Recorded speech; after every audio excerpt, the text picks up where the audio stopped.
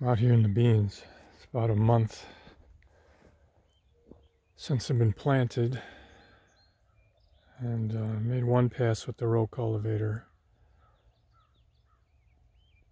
The rows where I um, went through and planted initially, there was a lot of weeds germinated in the row, and the row cultivator wasn't getting them all, so I'm going to have to go back and do some of this twice it looks like. But um, the stand of beans is pretty good. You can kind of see a flush right at the beginning right there. They come out in the row.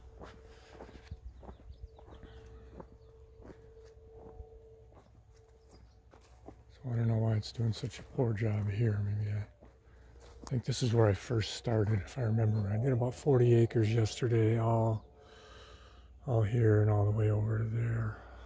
So I've got another 60 to go. I don't think I had the, um, yeah, this is over here. I didn't have the sweeps deep enough.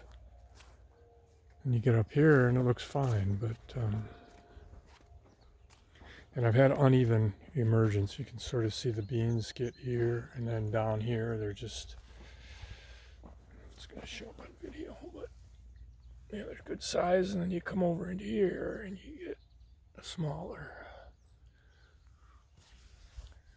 This is a field where I had um, the flat tire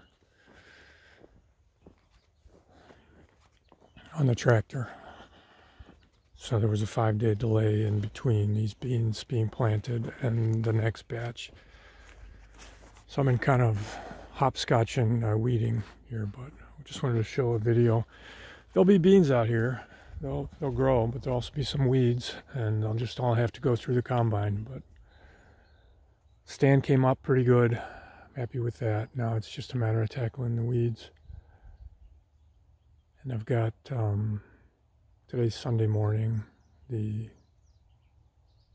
7th or 8th of July. And it's supposed to rain tomorrow afternoon, so I want to try to get as much of this done as I can. And I'll be back to row cultivator probably in another week or so. And as usual, the end rows are